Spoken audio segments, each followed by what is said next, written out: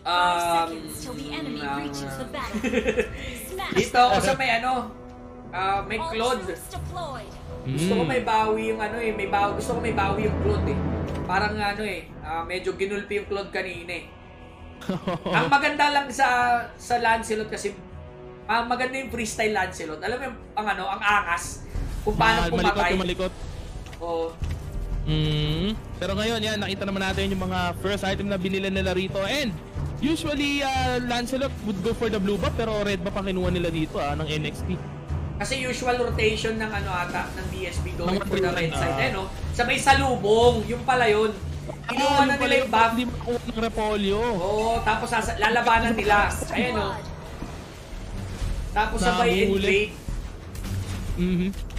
Ako maganda yung pinapakita dito ngayon ng NXP ha, pero Chu dito very aggressive on the middle lane pero disengage coming from BSB. Nagawa na nga rin sila ng blue buff ngayon. Ang aga ng agaw ng blue buff dito and uh, most likely ano rin to, dumiretso rin to sa red buff.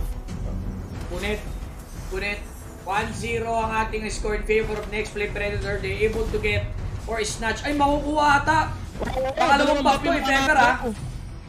Ayun, dire, naka-retrieve eh. Naka-retry, ah, okay.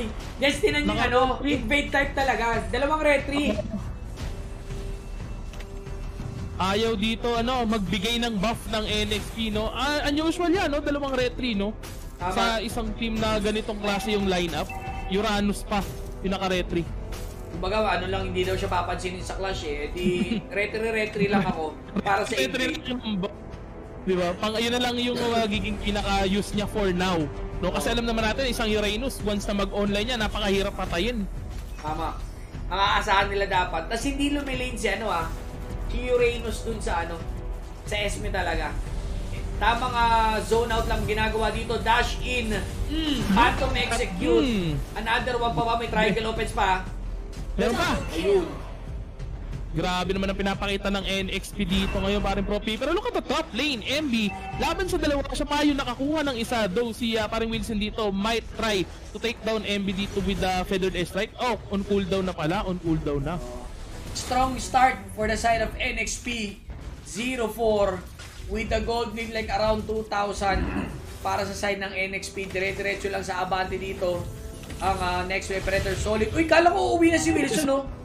Nako, hindi nga. Eh, yun nga. Pero inabutan siya dito ni paring Chester with that uh, slow coming from the red ba. Pero hindi pa tapos. Here comes sa Trevor trying to defend the first tier threat on the bottom na lane. No? Pero successful naman on defending it. Na clear out niya rin agad yung mga minion. Humuhold lang na humuhold dito ang BSB. There you go. Na timing ang kanina kami binubuli nyo sa buff ha. Ngayon kami naman. bumawi, bumawi itong mga tropa natin. This is the second rotation of the buff na na-stealan lang sila dito. So far, 3 minutes, wala pang nakukuha isang buff ang isang um, Claude. Claude, And later on, paangat na rin ang red buff dito.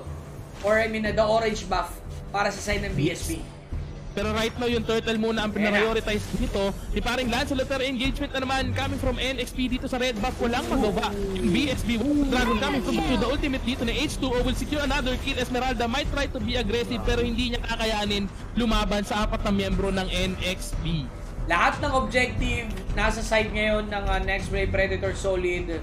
Walang nakukuha na map controls or somehow big or small objectives. Lahat talaga nasa side ng Next Wave Predator Solid. They're trying to go unstoppable force knock up. Nasusuntok pa ba? Demon, pulado, op! Joke lang. Makakatakbo pa, makakatakbo pa. Hindi pa nag-give up si paring ah, Demon doon sa bottom lane pero in the, mid lane. Naku, bumanat na yung gear. Pero look at the feathered airstrike pas ng ultimate ng ating Atlas. What a nice setup coming from Team BSB. Naku, dalawa yung makukuha nila on that team fight. That is a very good comeback no, for the team of BSB. Nakadalawa sila doon. Ang layo pala, kap, kakatalbog lang pala ng bola ni Cupra doon. Sabi ko, bakit wala nag-face check? Tinignan ko. Mm. Nakapunta lang pala. And there go, ejector. Now, bumabawi sila H2O dito.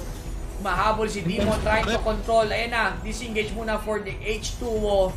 Gusto ko yung balance ng hero na next play Predator kung paano nila i-balance yung mga hero kung saan pupush which is na napapareact nila yung BSB.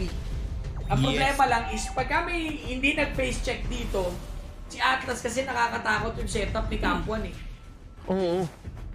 Nako, iba rin, iba rin talaga kasi yung ano eh, yung setup ng isang Atlas talagang hindi ka makakatakas kahit mag-flicker out ka na. No, basta naikas na ni Atlas yung ultimate niya at nakabitan ka na ng kadena, siguradong kasama ka na kapag binitawan niya na yung RKO. Yahing RKO, pero yan na. This is the round number 3 para sa Bap. RKO sa mukha. Look at that Feather Earth Strike. Naipit sila Chestel. Diyos ko, natatakbuhan pa nga. From the backline, trying to catch either QTH2 doing a great job. Kapuan, Pulado as well. Disengage. May naiwan. Maulit taya. Si Trevor nataya. Mm. Ayun, ay makukuha. Dito and Lancelot will secure that kill H2O with the monster kill. Uh, next play, Predator solid dito. Ah, sobrang ahead nila sa laban na to ngayon parin Prof B. 3-9 tayo with the gold lead na hawak ng ah, NXP. Magkano ba yan parin Prof B? 6,402. Joke lang yun. Joke lang yun. Pero ayun na guys, sa item check, naka-foreman na Mhm. mask dito next play Predator Solid habang single mask lang. Ay, dalawa. Dalawa, dalawa. Oh, dalawang mas yung ng. Pero Pero yan na. Simon dito, dalawa yung tinamaan. RKO! RKO! Maraming tinamaan pero dito will pick off a single enemy team. Lancelot still alive with the the dragon coming from the Chu. No, doon nakapag, nakapag-purify pero the damage is enough to take him down for double kill. Parang H2O. And right now, they are going to focus on the inhibitor turret and the second tier turret doon sa may middle lane. Hindi pa tapos pinasok pa sa loob. That would be a triple kill para kay paring H2O. Tumawag si Ginoong Valdez daw. Sabi mainit tong ano ah, BSB. Saka to next play. Sige, ipag-game trick ko to. Ayan. Ginalit, ginalit daw si H2O. Sabi ko sa inyo eh. Ayan na guys ha. 7 minutes, look at the score. 4-14, objective 4 for none. Tumunog na ang tunog ng Ghost Fighter. Bu- buong buo pa dito paring Prof B yung ano ah, mga turret ng ah, NXP. And right now, eto Ayun. nga si uh, Johed. Napakaganda ng pagka-pick up niya. Simpleng-simple, no? Talagang nilakaran niya lang palapit. No, wala wala nang halong arte. Halika rito, bumalik ka. Nagmukhang karne na pinressure cooker sa lambot. Ay, nakakayamot kasi ang isang ano, 'di ba? Atlas makunat pero dahil nga maganda ring item dito, nagmumukhang malambot na karne. Wave the Dragon against Demon. Nilabas sa Torre, disengage pero sasaluhin siya. May sandwich. Ayun! Kinapos lang. Triangle opens. Coming for H2O. Trying to catch as well. H2O. RKO sa mukha. Sa loob mismo ng Torre. H2O will fall down. Chester disengage muna and the rest of the gang.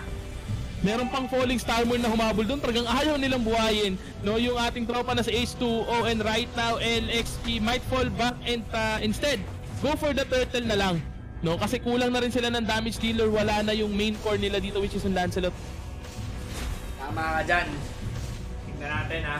5-16 ang ating score. 8 minutes sa ating ah, laro.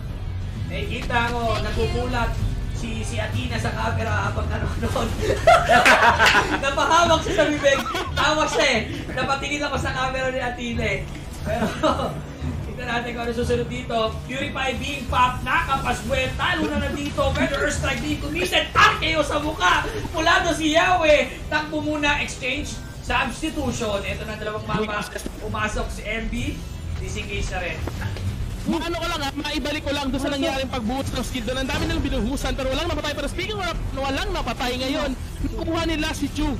No, Chu dito ah, might did a bad job, no? Uh, trying to pick off yung isang miyembro ng BSB. Instead, siya yung na-pick off nun. Tama eh. Tinitignan ko, sino ba gusto niyo i-pick off doon? Si Misus. No, at so yung ako, I think Esmeralda or si, ano eh, para sa yung ah, gusto niya. Ah, okay. Or baka mag ipapop lang niya yung ano eh, purified, no? Mhm. Parang ipapop lang niya ata yung purified, tapos Kaso, ilalaban na nila later on yung Lord. May ganong part, hindi ko sure ha. Pero Yes, yun na yung ano nakikita dyan? kong dahilan. Ipopoke lang niya. Gusto na. niyang i-pop up yung Purify kaso siya yung na-pop up. Pero ito, engagement na naman coming from Team Yun, BSB. inuhuli niya talaga. dito. Parang H2O pero Bang! nag-disengage using ultimate to run away pero Esmeralda with the falling star moon. Eto na yung Pedro airstrike. Wala tinatamaan. Here comes Lancelot. Wilson! Scoring! Si Wilson, H2O instead took down Trevor. Pero nasunod niya pa rin. Si paring Wilson hindi pa tapos. They might take that dito the entire enemy team inside their base. Namatay si paring Capuan pero Lancelot still on the go. Wiping out the entire enemy team. This might be a maniac pero hindi. Makakukuha ng tropa natin na si Chu. And this would be the reason kung bakit magkakaroon tayo ng game number 3. sinabi natin, dikit ang laban, tumawag